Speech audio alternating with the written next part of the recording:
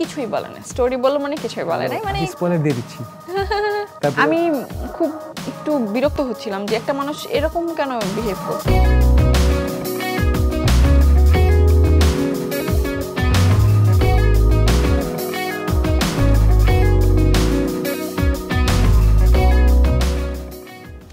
সুপ্রিয় দর্শক মণ্ডলী আমি তানি তানহা সবাইকে আমন্ত্রণ জানাচ্ছি আড্ডা উইথ মঞ্জু। এবং আমার সাথে আছে মঞ্জু ভাইয়া এবং সে আমার আমাকে কি জানি জিজ্ঞেস করবে? হচ্ছে তানিন তানহা। হ্যাঁ welcome to Adda with Manju.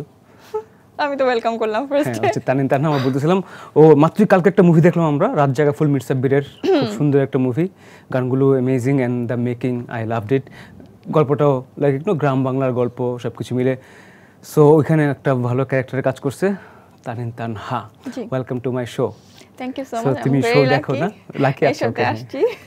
ওকে আমরা ইনফ্যাক্ট অনেকক্ষণ আগে থেকে শুট করতেছি। ও happy new year guys happy new year. Happy new year হ্যাঁ happy new year happy new year হচ্ছে আমি রাতে ঘুমাইছি সো আই পার্টি আমি অনেক ভদ্র ছেলে ভালো ছেলে আমি কোনো পার্টি করি নাই।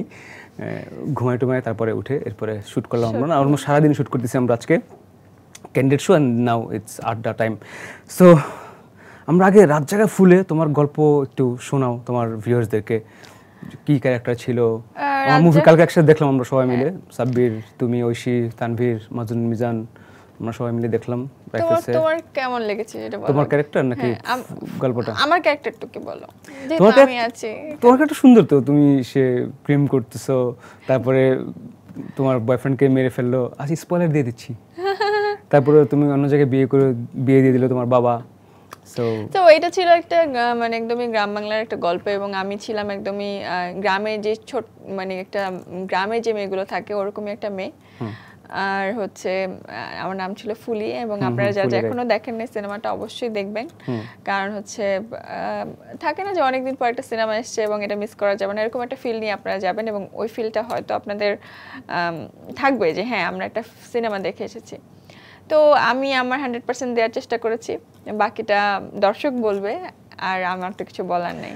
রাত জাগে ফুলের আগেও একটা মুভি ওর ছিল বলো সেটাও। ওটার নাম হচ্ছে ইতি তোমারি ঢাকা ওটা নেটফ্লিক্স আপনারা পাবেন সিনসিয়ারলি ইয়ার্স ঢাকা নামে পেয়ে যাবেন। এটা আমার সেকেন্ড পার্ট ছিল আমি স্পর্শিয়া দুজনে করেছিলাম। তারপর আরও দুটো মুভি তোমার আসছে সেটাও বলে দাও। আমার নেক্সট ইয়ার ইনশাল্লাহ অন্ত্যেষ্টিক্রিয়াটা আসবে এবং প্রিয়াঙ্কাটা আসবে এবং ওই ওই দুইটা হচ্ছে একটা হচ্ছে অনুদানের ফিল্ম আর এটা হচ্ছে নর্মালি ফিল্ম আশা করি ভালো হবে। সো রাত জাগা ফুল নিয়ে আরেকটু গল্প আমরা করতে চাই।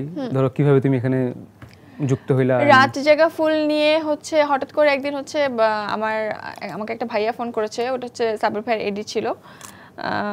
তো ফোন করে বলেছে যে আমাদের একটা কাজ আছে সামনে। তো তুমি একটু এসে দেখা করে যাও। সাবির ভাই একটা কাজ বানাবে। কি বানাবে বা কি কিছুই বলে নাই।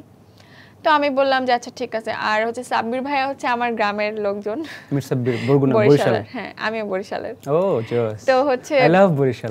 লঞ্চ জার্নিটা মারাত্মক লাগে আমার। তাই না? With VIP and all of তো এম- এমনিতেই হচ্ছে আমি মিডিয়াতে কাজ করছি ভাইয়া বরিশালের আমি বরিশালের লাক্সে ছিলাম। তো ভাইয়ের সাথে আমার কখনো কাজ হয়নি। আমার প্রথম ভাইয়ের সাথে দেখা হয়েছিল আমাদের লাক্স থেকে বের হওয়ার পর একটা পার্টি হয় আমাদের। মানে ওই ইয়ারে যারা যারা বের হয় যেমন ভিট লাক্স সেরা নাচে সেরা কণ্ঠ সব মিলে একটা হচ্ছে পার্টি হয়। তো ওই পার্টিতে হচ্ছে ভাইয়াও গিয়েছিল আপুও গিয়েছিল সবাই গিয়েছিল। তো তখন হচ্ছে হাই হ্যালো হয়েছিল। এরপরে হচ্ছে আমাকে ভাইয়া নোয়াশালের জন্য ডেকেছিল বাট ওই সময় তো আমি একটু মডেলিং নিয়ে ব্যস্ত ছিলাম। নাটক করব কিনা ডিসিশন নিতে পারিনি হ্যাঁ র্যাম্পে বিজি ছিলাম। তারপর যখন ডাকলো ভাবলাম যে এটা ইগনোর করা যাবে না। তারপরে গেলাম যাওয়ার পরে হচ্ছে ভাই আমাকে স্টোরিটা বলল। কিছুই বলে না স্টোরি বলল মানে কিছুই বলে নাই। মানে একটু মানে বলল যে এরকম একটা ক্যারেক্টার দরকার একটু গ্রামের মেয়ে। আচ্ছা ঠিক আছে। দেখল আমাকে কতক্ষণ তারপর হচ্ছে বলল যে তুমি একটু চোখে কাজর টাজর দিয়ে একটু আসো। তারপরে আমি সাজগোজ করলাম। পর বলল আচ্ছা ঠিক আছে সমস্যা নেই তুমি চলে যাও তোমাকে জানায় দেওয়া হবে। আমি কনফার্ম ছিলাম যে হয়তো কারণ যেভাবে ভাইয়া ইয়ে করেছিল বলেছিল মনে হচ্ছিল যে হবে না বা কিছু একটা। মানে ওভাবে কিছু শিওর না। তারপর হচ্ছে যে এডিটা ফোন দিয়ে ডেট নিল। দেওয়ার পরে হচ্ছে শুটিংয়ে গেলাম।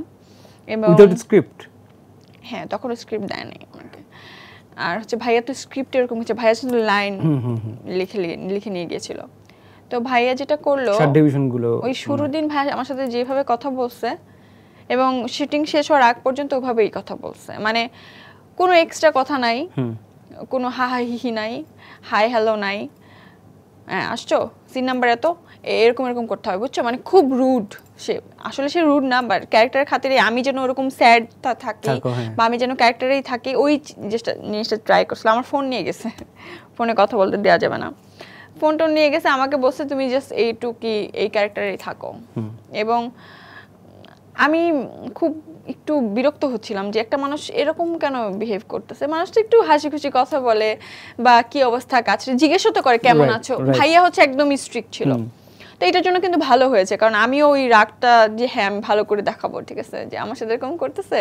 অন্য অন্য আর্টিস্ট আসলে খুব ইয়ে করতেছে আমার সাথে কথা বলতেছে না। তো আমি ওরকম একটু চুপচাপই কাজ করেছি। লাস্টের আগের দিন যেদিন শেষ হবে আমার শুটিং তার আগের দিন একটা সিন ছিল ওরকম। সিনটা দর্শক দেখলেই বুঝবে। মানে বাবার সাথে একটা সিন ছিল। এই যে ফ্ল্যাশব্যাকটা হ্যাঁ। তো আমি আমি আর বাবা তো দাঁড়িয়ে আছি কথা সিনটা করছি। মির সাবির ভাইয়া এখানে আমাদের ডিওপি ক্যামেরার লোকজন আশেপাশের অনেক লোকজন সবাই তো Unit, হ্যাঁ। ইউনিটের সব দাঁড়া। এবং লিটারালি সবাই কান্না করতেছে। মানে ওই সিনটাতে এত ইনভলভ হয়েছিল যে সবাই মানে ওই সিনেই সবাই কাঁদতেছিল যে ওকে মানে হারাই গেছে সবাই।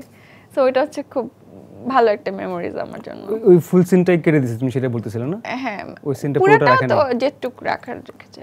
আচ্ছা ওকে সো তোমার এক্সপিরিয়েন্স ভালো লাগছে না? হ্যাঁ এক্সপিরিয়েন্স তো অবশ্যই ভালো লেগেছে এবং যেহেতু আমি গ্রামে যেখানে শুটিং করেছি আমাদের গ্রামের কাছে আমার হচ্ছে পটুয়াখালীতে ভাইয়ার হচ্ছে বরগুনাতে।